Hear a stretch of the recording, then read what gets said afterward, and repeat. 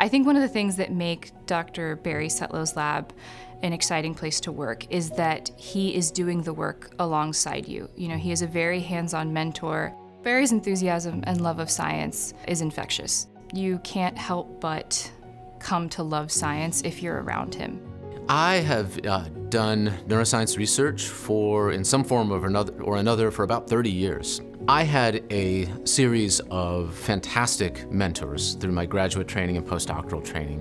One lesson that's particularly stuck with me from my uh, graduate advisor is the importance of finding, finding that spark, finding something that just grabs you, a question that excites you and that won't let you go and that can help to sustain you uh, through the challenges and failures that are an inevitable part of scientific research. I joined Barry's lab as a first year master's student, and after completing my master's degree, I decided to stay and complete my PhD in his lab. One thing that Barry has been really good at is tailoring his mentoring style. Uh, everyone's going to have different needs, and it's not a one size fits all. I think that having Barry as a mentor has given me a higher expectation for myself when I'm mentoring students.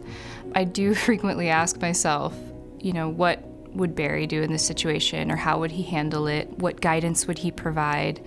I definitely think that I will carry a lot of aspects of his mentorship style if I have a lab one day.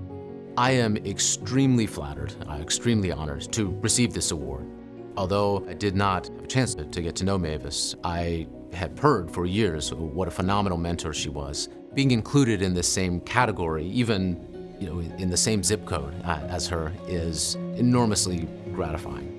At the end of my career, I would hope that I could done some good in the world, but also helped other people to find success in their own lives and their own careers, however they define that success.